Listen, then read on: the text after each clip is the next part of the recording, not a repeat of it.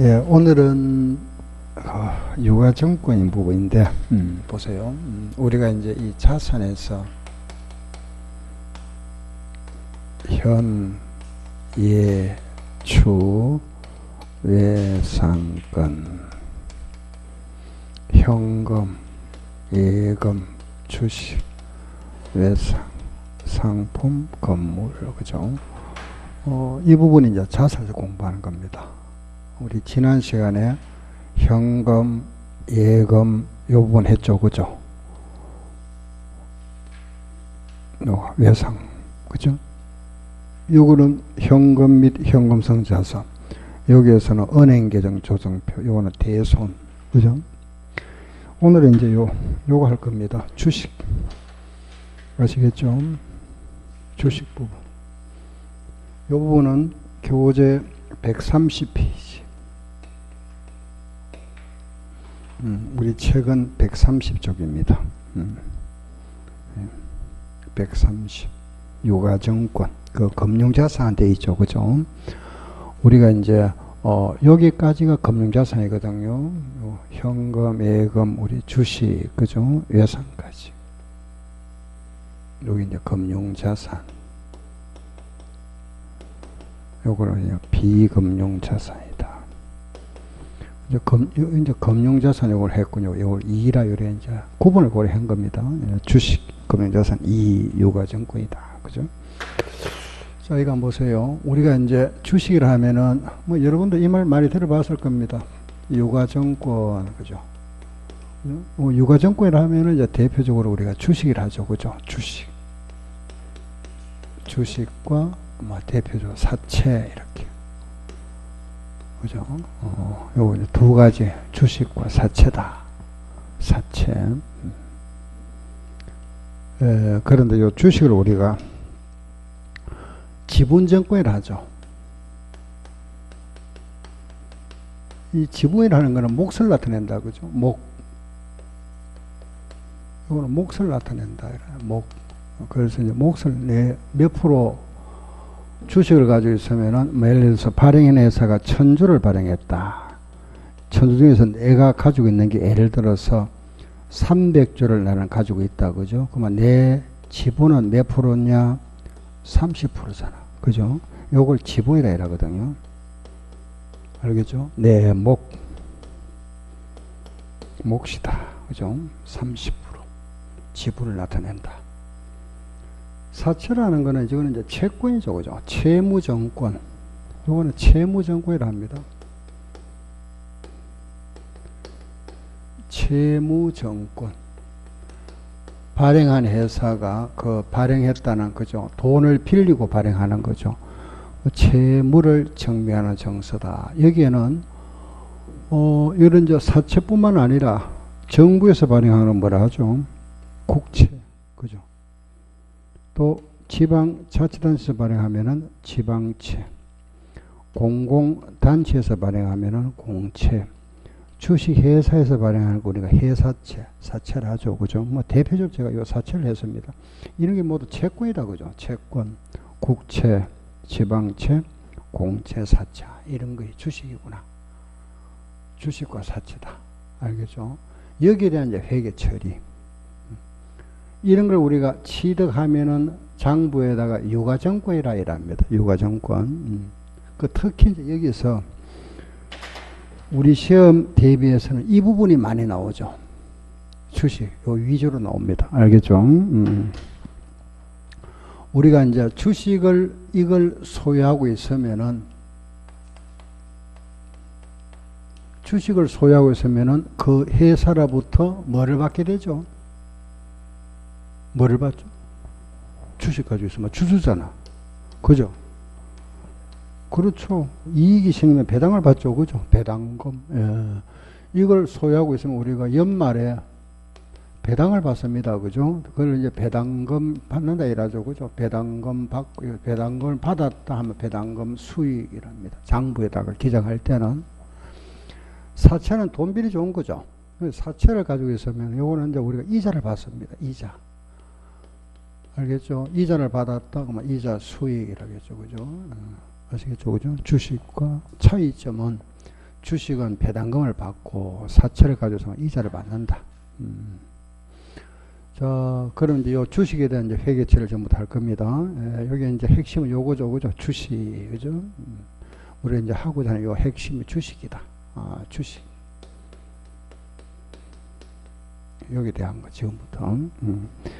그 이런 이제 우리가 주식을, 우리는 이거죠, 그죠? 주식을 사왔다가, 취득, 100원 주고 사왔다가, 그죠? 이걸 갖고 있었는데 연말에 가서 보니까 이게 90원 됐더라. 시가가. 이걸 내가 팔았다. 130원에 팔았다. 그죠? 그래서 그래 결국은 주식에 대한 회계처리 뭐냐 하면은 이런 주식은 내가 취득했다가 그죠? 이걸 보유하고 있다가 보유 그리고 이걸 어느 시점에 팔겠죠. 그죠? 처분 요거밖에 없습니다. 알겠죠? 예.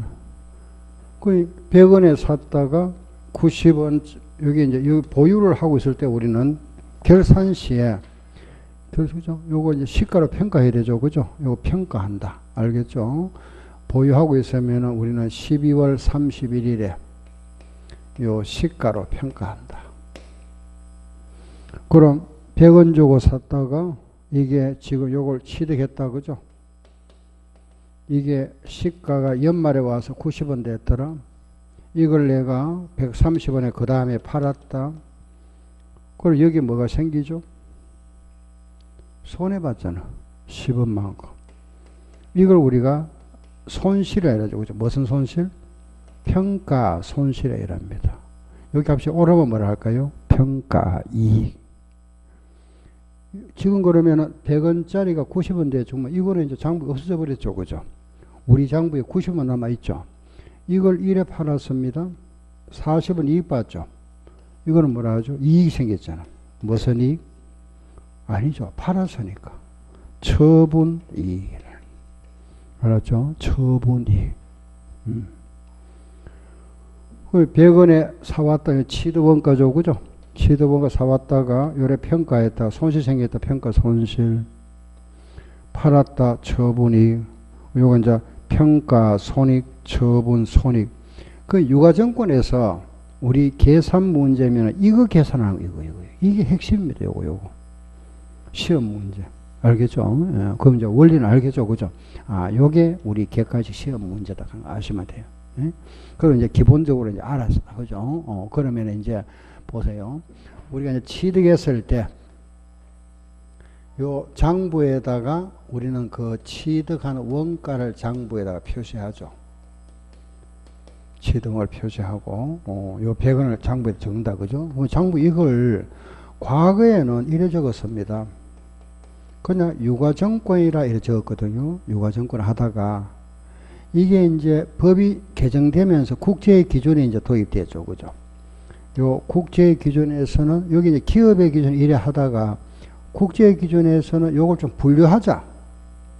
이 유가증을 우리가 1년 내에 팔 건지, 1년 후에 팔 건지, 중도에 안 팔 건지를 구분해서 장부에 기장하자. 이렇게 정해놨습니다. 그래서 요걸 취득 원가를 이제 그죠? 요걸 장부에다가 표시할 때 과거에는 유가증권을 했는데 요걸 이제 이래 합니다. 1년 내에 처분할 건지, 보유 목적이 1년 후에 팔 건지 중도에 안 팔 건지 만기까지 보유할 건지 이래 구분해서 장부에다가 표시하자 알겠죠? 구분해서 그런데 주식은 만기가 없죠. 그러니까 주식은 관련 없다 그죠? 요 취득할 때 요 사채는 만기가 있죠. 그 요거는 요래 분류하지만 주식은 요렇게 분류한다. 요게 지금부터 요 용어가 이제 좀 생소할 겁니다. 음, 1년에 팔 거를 요래합니다. 단기 손익 금융 자산이라 한다. 말이 조금 깁니다. 그죠? 이렇게. 요래 표시하자고 적어놨습니다. 1년 내에 팔 거면은 단기 손익 금융 자산. 알았죠? 말이 길죠. 그죠? 이런 게 이제 나오면 자꾸 읽어보셔야 됩니다. 예, 반복해서. 1년 후에 팔 거라면 이거는 기타 손익이라 합니다. 기타. 기타 손익 금융 자산 이렇게 알았죠? 이렇게 예. 만기까지 보유할 거라면은 상각 후 금융 자산이라 하자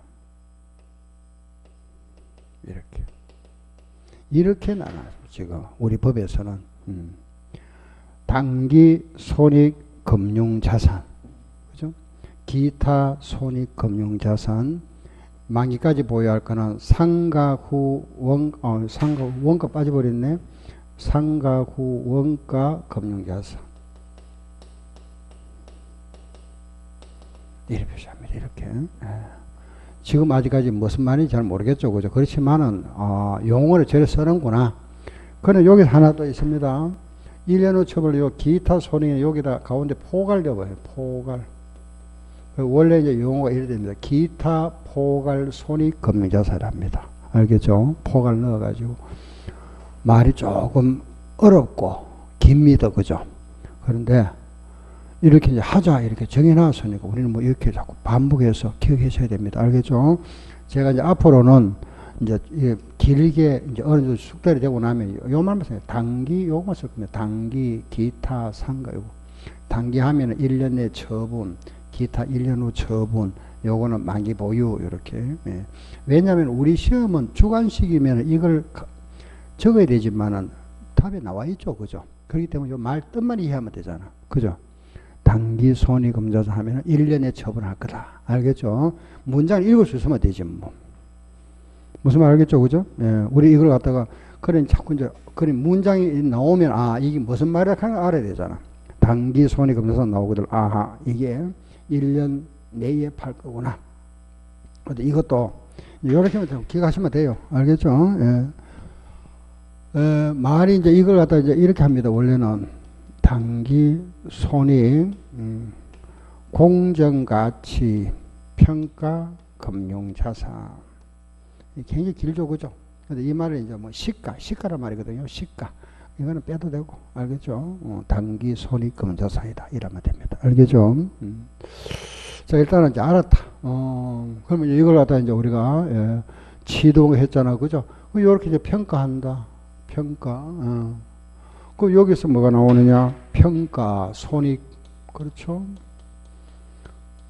우리는 중요한 게 이겁니다. 금액이 중요하죠. 그죠? 예, 우리 시험에 대비해서 요거 팔았을 때 처분 손익 구하는 거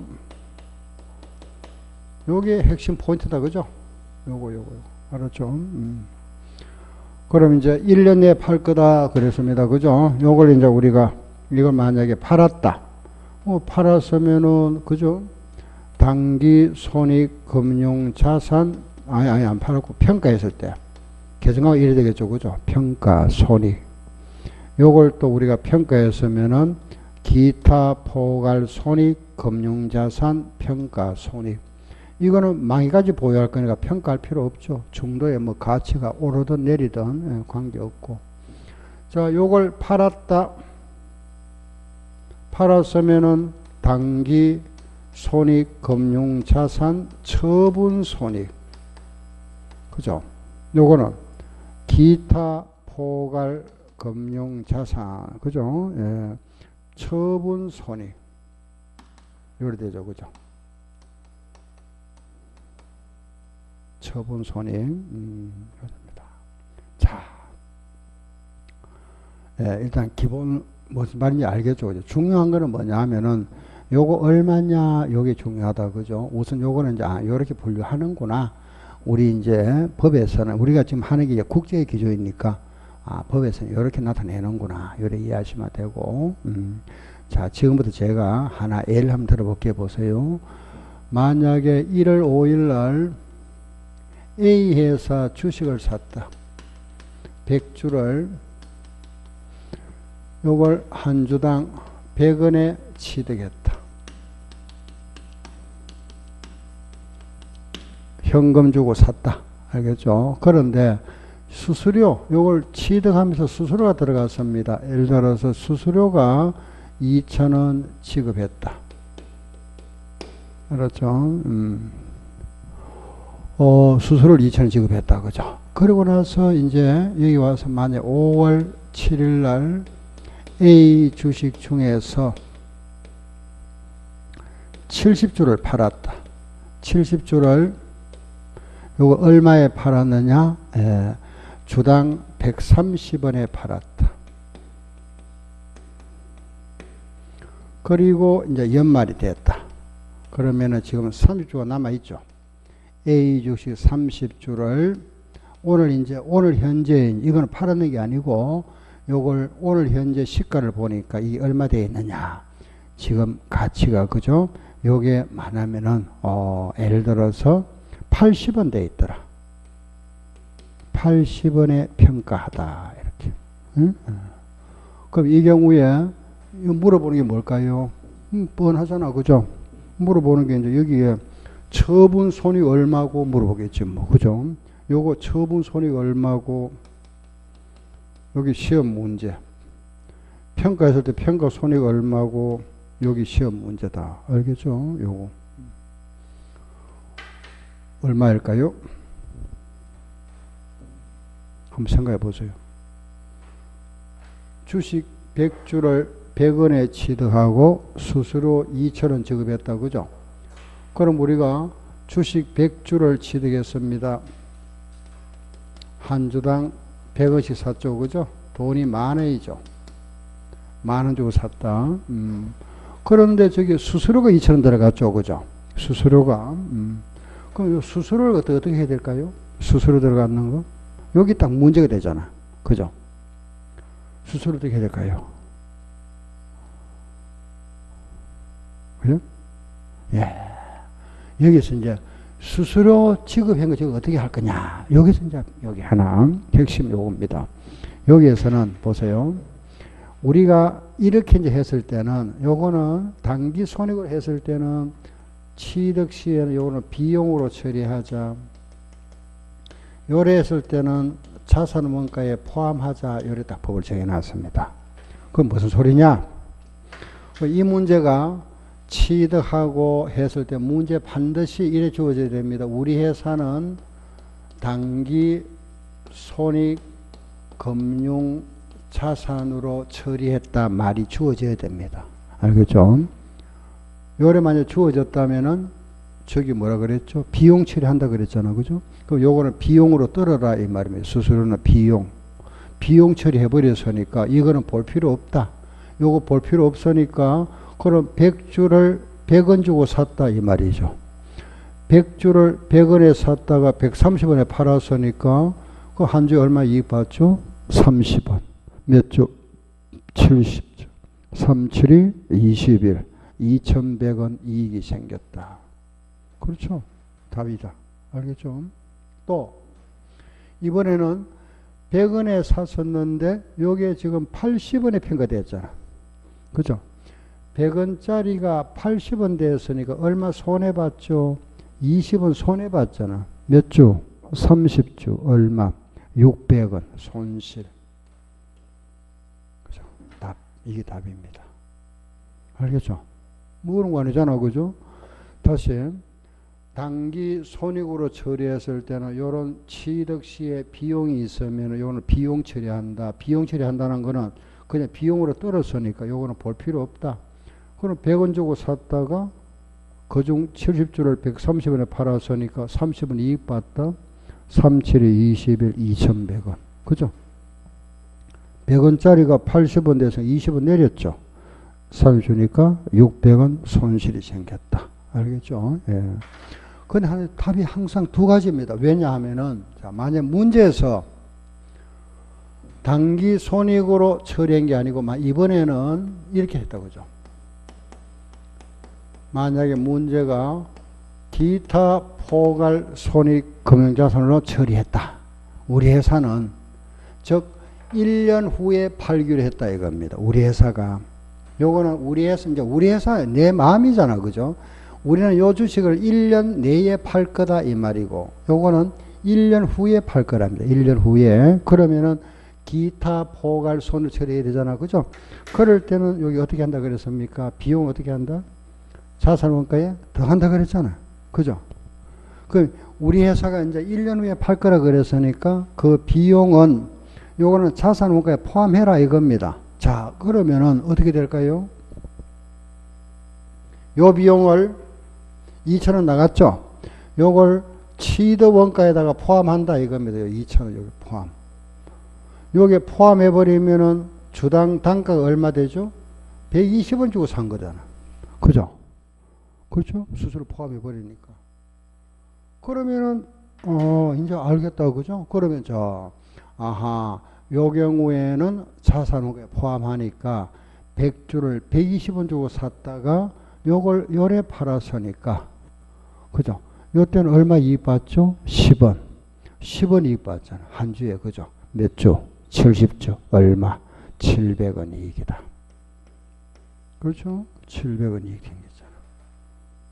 또 기타 포괄 때는 요걸 120원짜리다고 요걸 요렇게 평가했으니까 120원을 80원에 평가해서 40원 내렸잖아. 그죠? 40원이 내렸다. 몇 주? 30주니까 1200원 손실. 예, 끝났습니다. 요거 이해하시면 돼요. 음, 이해되죠? 그죠? 요게 유가증권의 핵심 포인트입니다. 음. 그런 거 아니잖아. 그죠? 자, 다시 정리해 볼까요? 그래, 문제는 반드시 이렇게 항상 이래 나옵니다. 취득하고 뭐 단기 손익으로 처리했다. 기타 포괄손 처리 이런 말이 주어집니다. 이렇게 두 가지 알겠죠?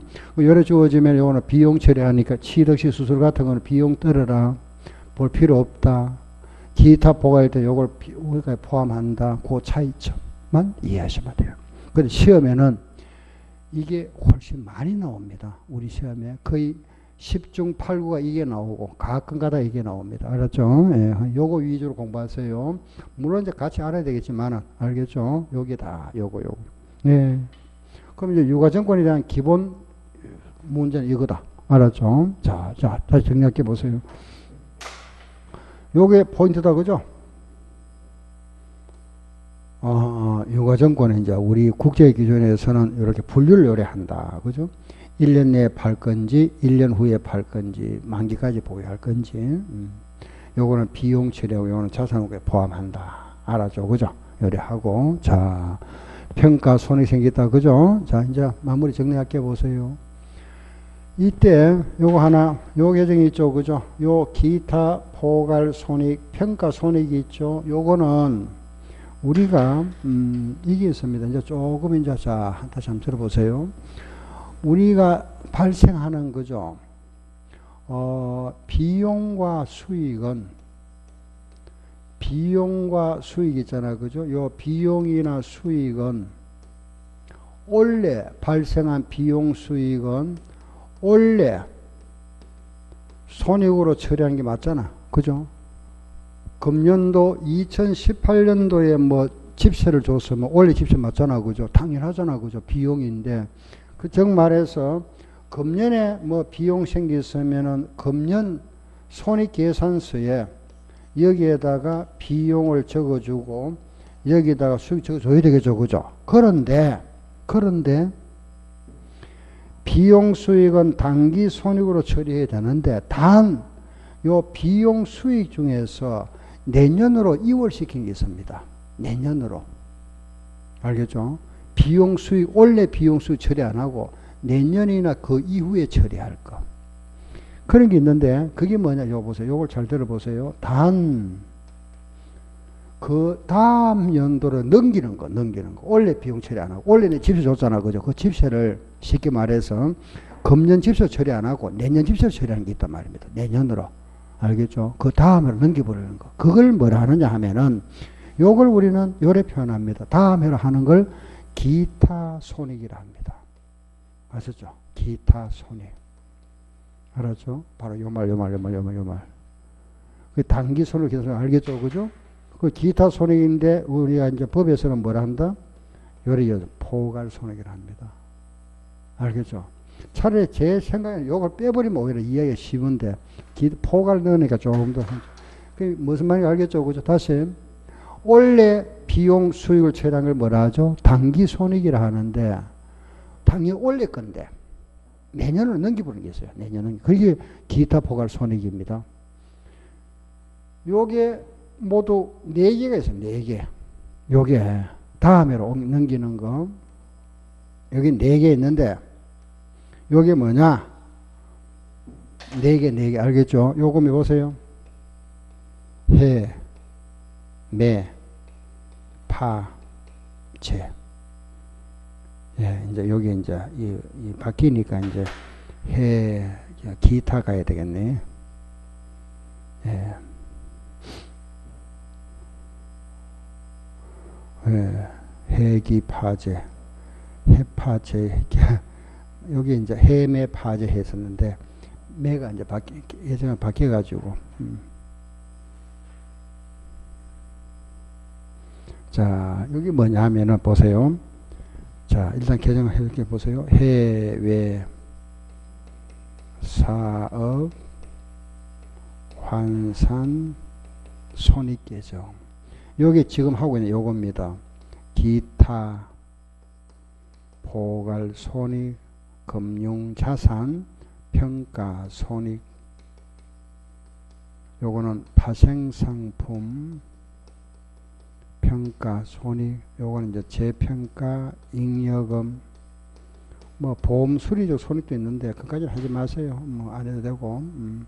요런 계정들은 우리가 그 다음에 넘겨주는 거다. 원래는 비용 수익인데 알겠죠? 그래서 자 여기에 뭔지 잠깐 제가 설명. 요 계정에 대해서는 우리가 뒤에 가면 이제 자본에 가면 말씀드리는데 제가 뭐 나왔으니까 잠깐 말씀드리게 한번 보세요. 요 계정 하나 말씀드리게 한번 보세요.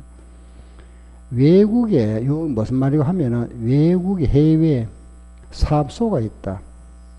해외 지사. 그 해외 지사가 미국에 있다 보니까 우리 회사의 재무제표가 달러로 표시되어 있죠. 그죠? 그걸 환산해, 환산. 우리나라 돈으로. 이걸 환산하고 나니까 환율 변동에 따라서 하락할 수도 있고 상승할 수 있잖아. 그죠? 그게 손실 이익입니다. 알겠죠? 우리 해외 지사가 미국에 있는데 그 재무제표상에 나타난 거 있잖아. 그죠? 그게 우리나라 돈으로 환산하고 나니까 요게 환율 변동에 따라서 하락하면 손실이고 상승하면 이익이라 그겁니다. 그 생기는 손익인데 요 손익을 만약에 비용이 30원 생겼으면은 요걸 비용 처리 비용이지만은 비용 처리하지 마라. 왜? 다음으로 넘기라 이겁니다. 왜? 다음 내년에도 여기 또 생길 거 아니에요. 그죠? 내년에도. 그럼 내년에 만약에 이익이 50원 생기거들랑 요걸 상계해라 이겁니다. 상계. 알겠죠? 그러면 플러스 20원 남았죠. 그죠? 또 그 다음에로 또 넘어갑니다. 그 다음에로 또 넘기나 넘기네. 그 다음에 넘어가니까 이게 마이너스 만약에 또 예를 들어서 그죠? 60원 생겼더라. 그럼 이거 또 상계해라. 마이너스 40원. 또 그 다음에 가니까 플러스 또 50원 생겼더라. 이것도 상계하니까 플러스. 이런 식으로 매년 상계하랍니다. 상계. 알겠죠? 그에 비용 들, 들지 말고 요런 계정들이 요거다. 요거는 원래 이제 자본 처리가 나중에 설명 또 다시 드릴 겁니다. 요게 그러면은 요 계정은 자 보세요. 요 계정은 비용 수익이지만은 요 계정은 뭐냐? 자본 계정으로 넘겨 놓습니다. 자본에다가 자본 계정에다가 해, 딱 넣어 가지고 다음으로 넘긴다. 알겠죠? 넘겨 주는 계정이다. 그래서 요 계정을 우리가 요래 표현합니다. 기타 포괄 손익이랍니다. 이해되죠? 그죠? 예. 요 계정이 이제 자본 계정으로 넘기거든요. 그럼 요게 해, 기, 파, 제라 그랬습니다. 여기 하나 나왔잖아, 요거. 여기 요거다. 그래서 요 계정이 무슨 계정이다? 자본 계정이라 이겁니다. 알았죠? 자본 계정. 음. 그리고 하나, 자, 하나만 더 말씀드릴게요. 요거. 그럼 요거 기타 포괄 손익, 처분 손익 있죠? 요 손익은, 요 계정은, 우리 요 계정은 자본에다가 요, 요 자본이 뭐냐? 요거는 이익잉여금이라는 자본에 넣어 놓습니다. 이익잉여금으로 대체한다. 이익잉여금의 대체. 요 계정. 기타 포괄 손익, 처분 손익 계정 요거는 이익잉여금에다가 대체한다. 알겠죠? 이익잉여금에다가. 일단 제가 이론은 이렇게 해서 정리가 끝났습니다. 기본적으로 정리가 정리됐고. 자, 일단은 이렇게 한번 보세요. 다시. 음, 핵심은, 다시 말씀드릴게요. 음, 핵심은 이겁니다. 이거, 이거. 그죠? 요거 구하는 거하고 요거 구하는 거. 알겠죠? 예. 평가 손익과 처분 손익 구하는 건데, 그럼 요 우리가 추가할 게, 아, 단기 손익도 있고, 무슨 손익이 있다? 기타 포괄 손익이 있다. 그죠? 아, 요런 게 있구나. 요건 또 자본에 가면 다시 나옵니다. 요 계정에 가면은, 예, 그때 가서 또 말씀드릴 겁니다. 일단은 요렇게 정리하시고, 자, 이제 하나만 더 할게 보세요. 자, 보세요. 그럼 만약에 우리가 취득했다. 그죠? 예, 취득했는데 100원 주고 샀다.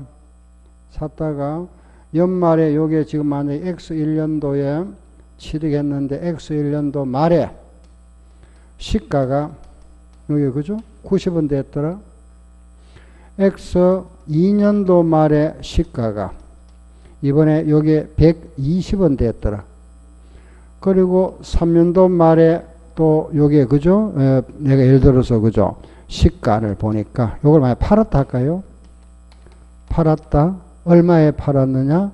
이걸 150원에 팔았다. 자, 우리 회사는 요 계정을 뭐로 처리했느냐?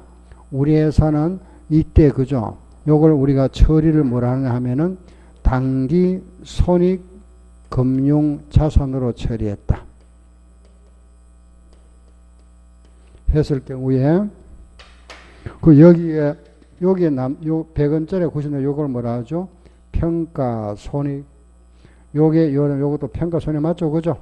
요거는 뭐죠? 처분 손익 얼마고 알겠죠? 어, 단기 손익일 때 100원짜리가 90원 됐으니까 요 뭐가 생겼죠? 마이너스 10원. 요게 요래만 플러스 얼마? 30 생기잖아. 요걸 요래 팔았습니다. 얼마? 한 120원 할까요? 120원짜리를 120원 팔았다. 플러스 얼마? 40원. 맞죠? 그죠?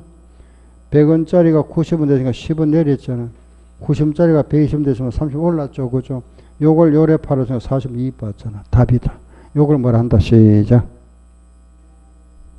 평가 손실. 말씀하세요. 요거 뭐라 했죠? 평가 이 요거는 처분 이 알아 다시 시작 평가 손실 아이 평가 이 요거는 처분 이 알겠죠? 예. 요 끝났습니다. 자 만약에 이번에는 이걸 기타 포괄 손익 알겠죠? 기타 포괄 손익 금자손 처리했다. 그러면은 요거 얼마고 물어봅니다. 기타 포괄 손익. 자, 이제 이거 알겠다. 그죠? 단기 손익일 때는 요건데 기타는 얼마일까요? 자, 보세요. 요거 내나 100원짜리 90원 됐잖아. 얼마? 마이너스 10원 맞죠? 그죠? 여기 요래 됐죠? 플러스 얼마? 30 맞죠? 요거 얼마 됐죠? 플러스 얼마? 40 맞죠? 그죠? 그런데 자 보세요. 기타 포괄 손익일 때는 요걸 매년 상계합니다. 상계해 나갑니다. 상계. 요때는 상계 안 합니다. 요거는 상계한다. 그러면은 요거는 마이너스 10 맞는데 여기 와서는 여기 아니죠. 그죠? 요거 상계해버리니까 얼마가 되죠? 플러스 20. 그렇죠. 요게 답이 아니고 요게 답이 돼 버리죠. 플러스 20에다가 요거 상계하면 얼마죠? 그렇죠. 여기 답 얼마? 플러스 60이 답입니다. 예. 알겠죠? 다시. 단기 손일 때 여기 답이 맞아요. 예? 단기 손일 때 여기 답이 맞는데, 단기 손익으로 불릴 때 답이 맞는데, 기타 포괄 손일 때는 이걸 상계 나갑니다. 상계, 상계. 알겠죠? 마이, 똑, 해놨다. 요, 마이너스, 플러스 상계하면 플러스 20은, 플러스 20은 됐잖아요. 요 상계하니, 그죠? 플러스 20에다가 플러스 40 하니까 얼마? 플러스 60원. 알았죠? 요래 하는 겁니다. 그 시험 문제. 요렇게 물을 때도 있고, 요렇게 물 때도 있죠. 알겠죠? 어, 요걸 하나 딱 여러분들이 기억해 놓으시면 돼요. 그래서 우리는 문제가 요거 나오거들랑 뭐 한다? 상계한다. 알았죠? 기타 포갈 손익 검사서 나왔다. 상계한다. 그걸 딱 기억하세요. 알겠죠? 상계. 예. 그럼 요 정도 하면은 일단 유가정권에 대한 이제 기본은 딱 정리가 되는 거죠. 알겠죠? 어. 그럼 이제 유가정권에 대한 이제 주식에 대한 그죠? 기본적인 거는 된다. 그죠? 자, 그러면은 실제 제가 어, 우리 그죠? 그 시험에 나왔던 또 문제를 한번 보면서 한번 풀어볼게 한번 보세요. 음, 자, 책을 한번 봅니다. 음, 예, 그 교재 148쪽 한번 보세요. 예, 148쪽에 8번 문제 한번 볼까요? 8번.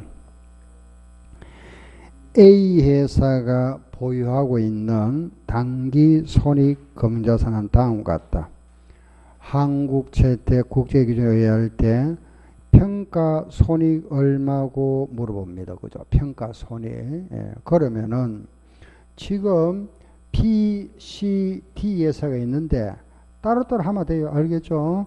그 P에서는 그럼 100만 원짜리가 120만 돼 있다. 그죠? B에서는 100만 원짜리가 120만 원 되었으니까 20만 원 올랐죠. 평가 이익이 20만 원이다. 다음 C에서 볼까요? C에서는 C에서는 200만 원 주고 사왔는데 이게 연말에 시가 얼마 됐죠? 180만 원 됐잖아. 그죠? 마이너스 20만 원. 손실이 생겼죠? 다음 D에서 볼까요? D에서는 100만 원짜리가 얼마 됐죠? 90만 원. 10만 원 손실 생겼죠? 자, 요거 이제 합산하면 되잖아. 그죠?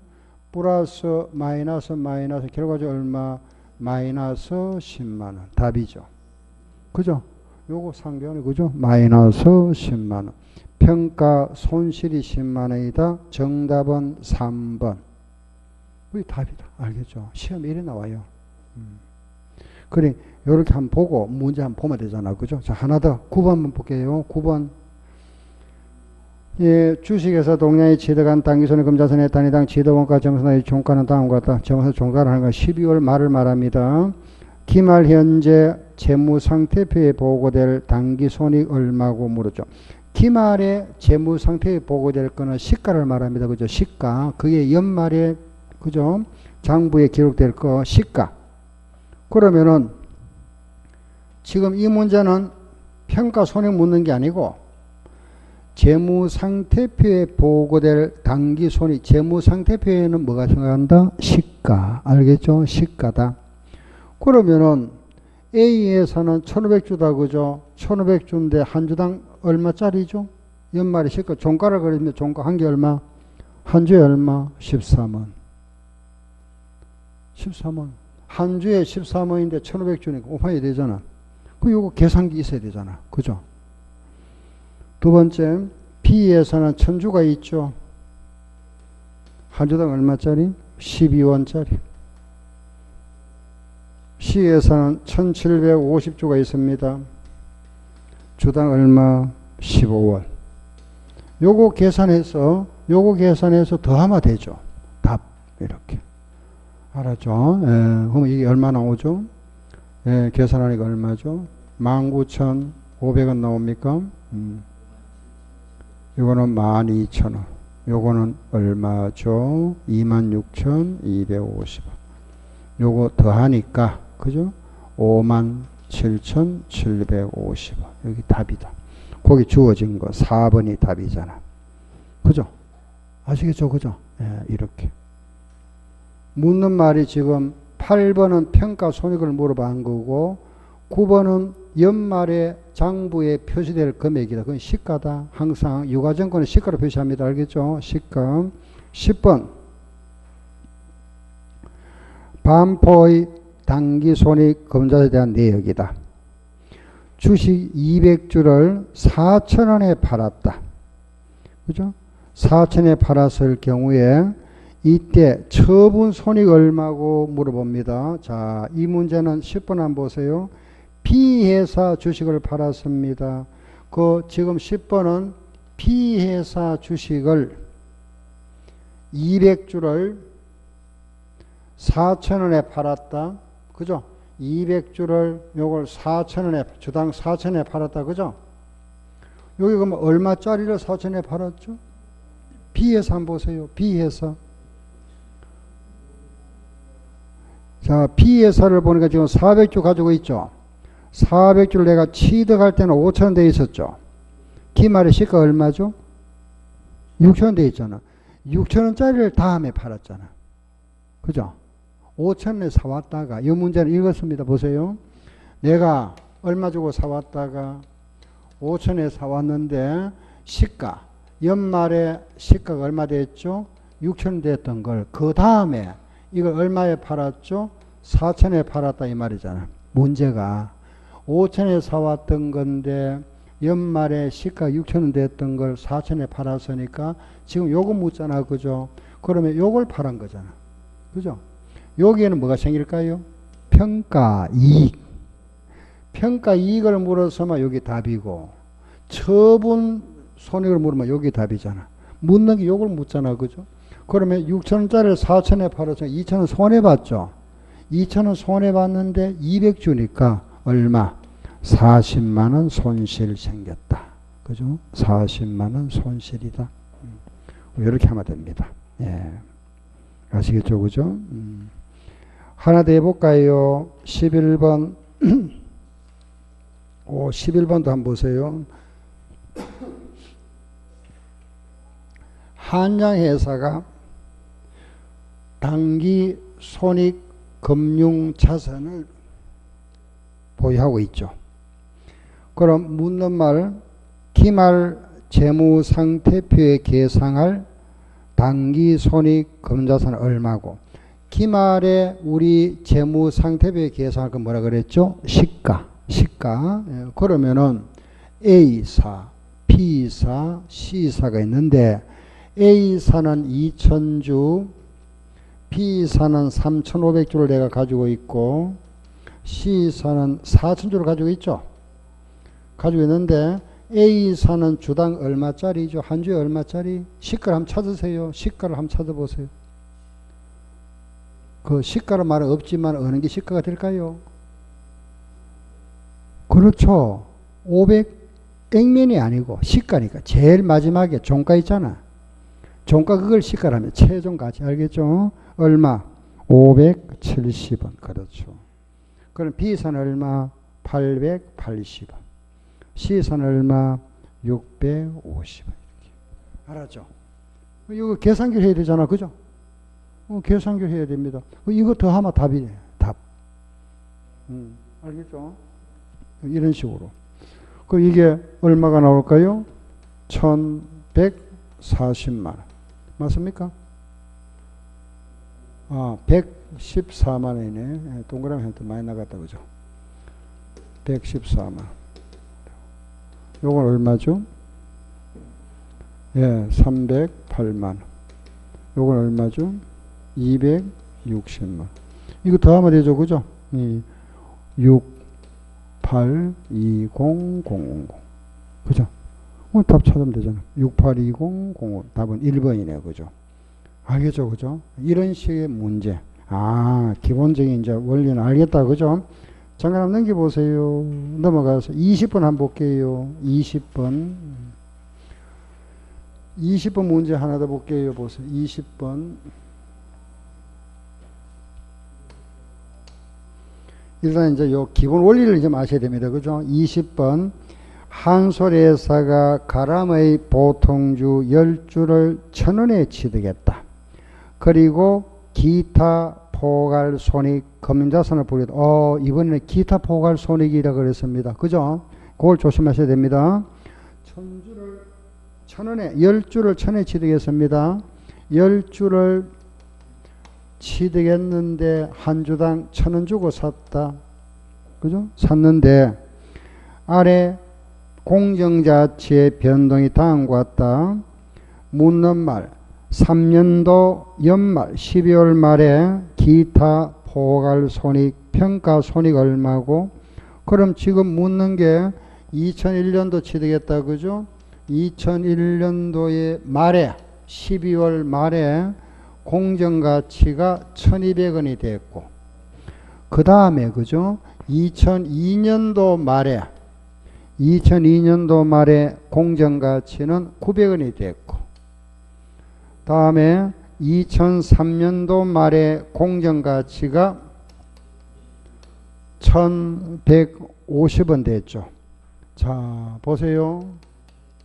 이 문제는 지금 뭐냐 하면은 우리가 거기에 보니까 기타 포괄 손익 검자서 처리했다 그랬습니다. 그죠? 그 기타 포괄 아까 뭐 한다 그랬습니까? 상기한다 그랬죠? 이걸 보고 하세요. 자, 보세요. 일단은 상기하지 말고 하나는 해볼게요. 천 원짜리가 천이백 원 돼서 여기서 뭐가 생기죠? 200원. 올랐잖아. 몇 주? 열 주. 한주 200원 올랐잖아. 열 주면 얼마죠? 플러스 2천원 맞죠? 그죠? 1200원짜리가 900원 됐으니까 얼마 내렸습니까? 300원 내렸죠. 몇 주? 10주. 얼마? 3천원. 다음에 요래 와서 900원짜리가 1150원 됐으니까 250원 올랐죠. 몇 주? 10주. 플러스 얼마? 2천. 예? 2천? 여기 얼마 올라? 2,500원 맞습니까? 예. 이거 아시겠죠? 다시. 천 원짜리가 천 원에 사왔잖아.